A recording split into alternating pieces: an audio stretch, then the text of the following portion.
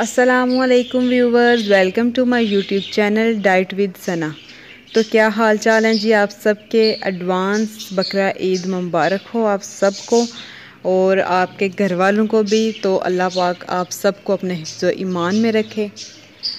आज की वीडियो है जो वो बहुत ज़्यादा स्पेशल है और इम्पोर्टेंट है। वो इसलिए क्योंकि आज मैं आप लोगों के साथ शेयर करूँगी चंद वो ख़ास बातें जो मैंने अपनी वेट लॉस जर्नी में अपनाई और जिनसे मुझे बहुत ज़्यादा हेल्प मिली है। तो मैंने सोचा कि आप लोगों के साथ भी ये बातें शेयर की जाएँ। तो जी शुरू करते हैं। पहली बात, ख़ास, पहली ख़ास बात जो है, वो ये है कि आप लोगों ने अपनी मॉर्निंग ड्रिंक जो है वो कभी भी स्किप नहीं करनी। ठीक है? मॉर्निंग ड्रिंक आपने ज़रूर लेनी है। मॉर्निंग ड्रिंक लेने के आप आधा घंटा बाद आप नाश्ता करोगे।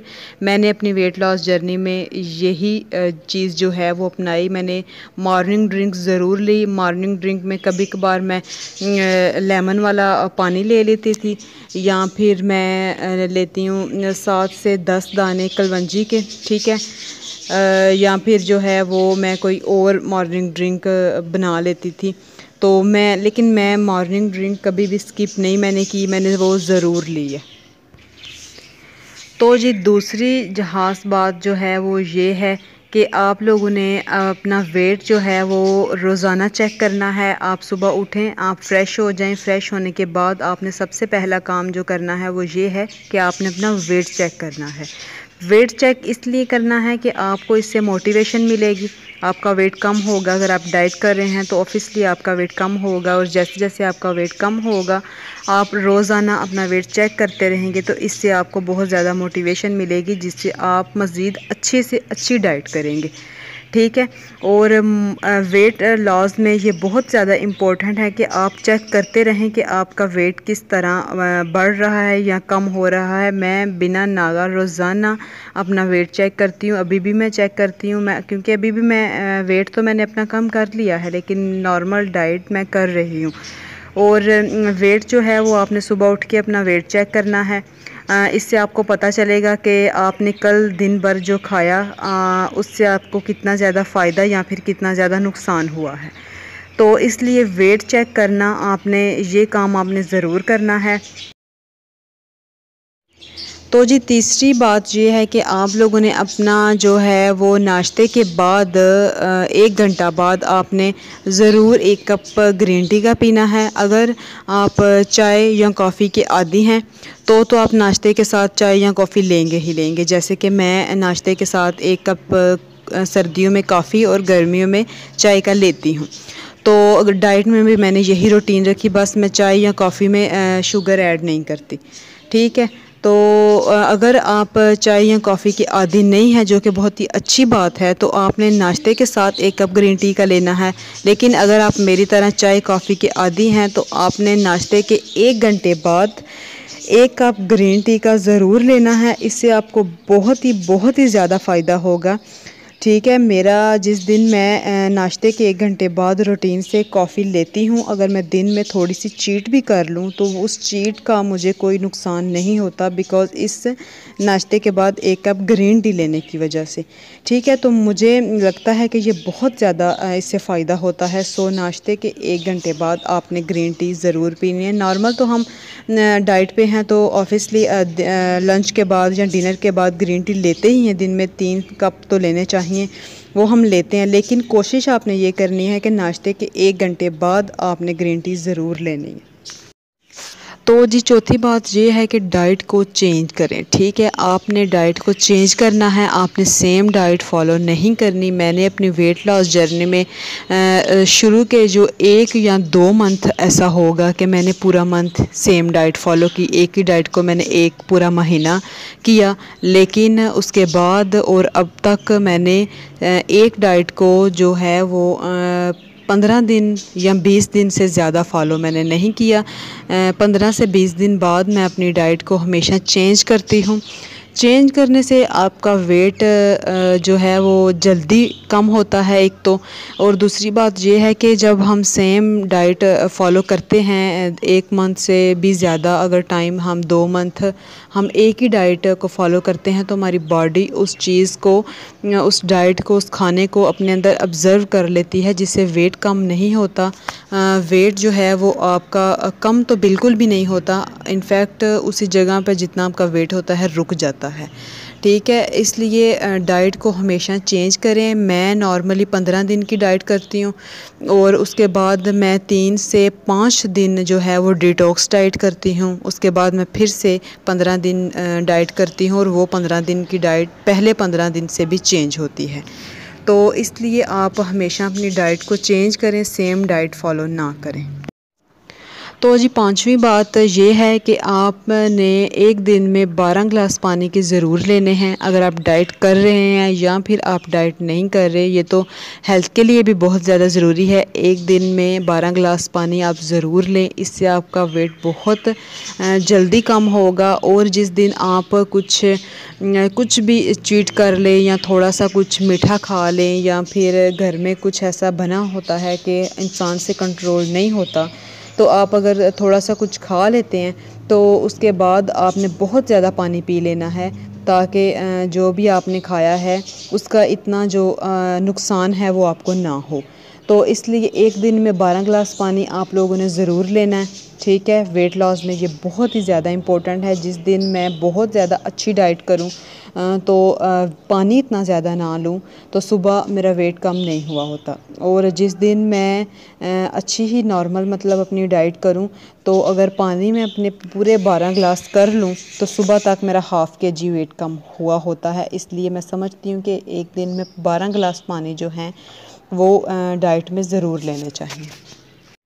तो जी, छठी बात ये है कि आप लोगों ने अपनी सोने और उठने की रूटीन जो है वो आपने बिल्कुल सही रखनी है, ठीक है?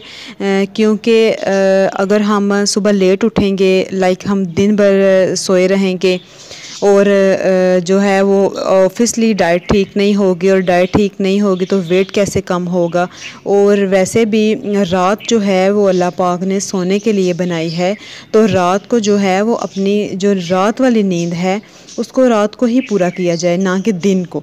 ठीक है, आपने अपने सोने और उठने की रूटीन को बहुत ज़्यादा बेहतर बनाना है। अगर आप डाइट पे हैं या फिर डाइट करने के बारे में सोच रहे हैं तो सबसे पहले आप लोगों को अपनी सोने और उठने की रूटीन को बहुत ज़्यादा बेहतर बनाना होगा। ठीक है, खाना जो है वो टाइम पर अगर लेंगे, तभी आपका वेट भी कम होगा और आपकी हेल्थ भी जो है वो अच्छी रहेगी, ठीक रहेगी।